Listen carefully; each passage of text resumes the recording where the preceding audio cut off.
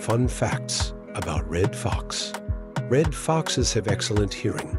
They can hear rodents digging miles underground. They have more than 20 different calls. And a group of foxes is called a skulk or a leash, and kids stay with their parents for about seven months.